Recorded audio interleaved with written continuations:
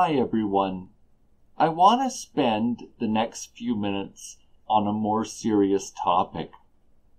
I want to share with you the challenges that I experience because of living with chronic pain. I first want to begin by defining the pain that I experience. There's a certain amount of pain that is consistent in my body. It doesn't go away.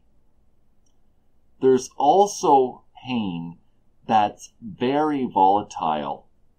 And what I mean by this is with very little movement, I can go from like 0 out of 10 to between 5 and 8 out of 10. One of the challenges with this is I honestly haven't been able to recognize all the patterns that trigger the moderate to severe pain. On account of this, it makes it really hard to book appointments and to be able to spend time with friends. You know, when my pain's bad, I'm better off in bed resting and getting my strength back than going out with friends because it makes the flare up last so much longer. So the having a schedule that's hard to set appointments is a big thing for me that I constantly have to deal with. Now, the close friends in my life take this at face value that this goes on with me and their understanding about it. So, spending time with a friend usually involves booking plan A for one time and then booking plan B for the backup in case I end up very weak and I'm just not able to pull it off and go with them at the first time that's been selected. The next challenge that goes with this is living with pain requires a certain amount of emotional stamina just to coexist with it. As a byproduct, there's decisions that I have to make that I often put off until I'm at my best so that I'm not letting my emotions weigh into it when I'm feeling weak or when I'm feeling vulnerable because of what the pain does for me. I also go out of my way to take care of my emotional well being. There are friends that I can talk to honestly, openly, and without having to have a filter on about what this is like to keep my emotions in balance.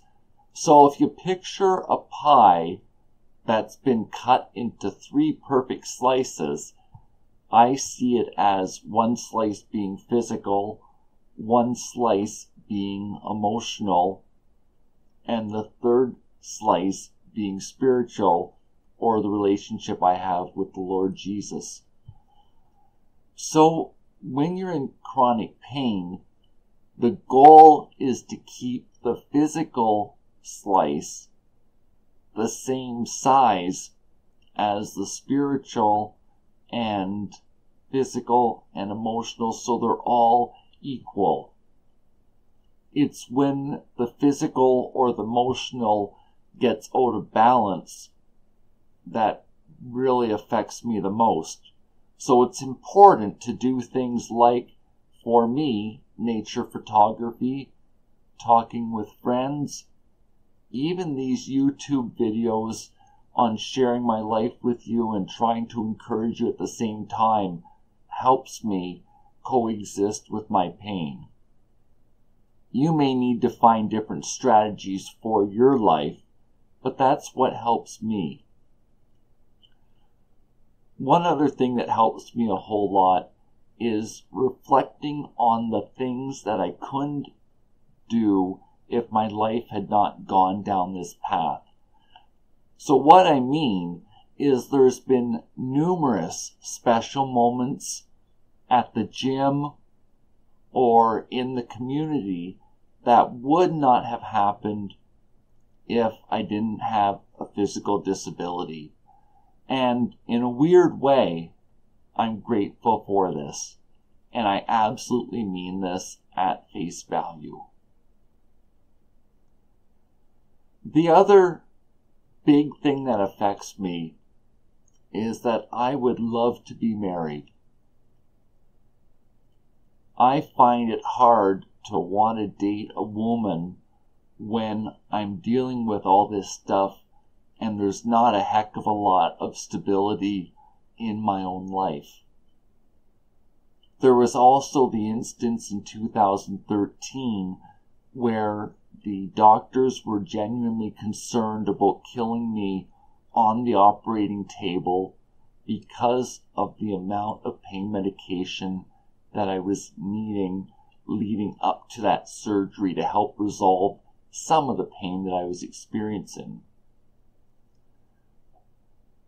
I really hate to put someone through this. And I've talked about this at a lot more depth in a separate video that I'll put the link in the description for. However, you know, I went to see one of my close friends that I can talk to openly about this, and he said to me, would you put up with a woman's issues and the challenges she has? And of course I would. I wouldn't think twice about it, to be honest. And he more or less challenged me with my own words. The final big component to this is financial. At this point, money equals quality of life and I'm trying to work hard to build a career out of all of this and redeeming the challenges that I've been through. This in itself is a process, and I'll share more about this in a few weeks as my plans come together and I form what my goal is going to be and have it well defined. I encourage you to be self aware, to have some friends that you can talk to openly and honestly that may not go through this themselves, but will take you seriously and still treat you with respect if you're struggling because of the pain. There's nothing to be ashamed with if you're struggling and you're bettering yourself and taking care of yourself when you face the issues head on. I break them down into manageable pieces because if you took my life as a whole and tried to figure out what you're going to do with it, it becomes an overwhelming problem. But when you break it down into manageable pieces, for example, how am I going to get to the toilet? What's it look like when I want to lay down in bed? These are manageable pieces that you can work with and find systems.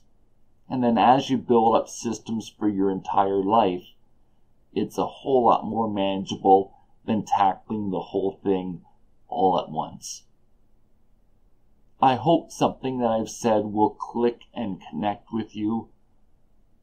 I certainly want you to have the best quality of life possible. Thanks for this time that you spent with me today. Bye for now.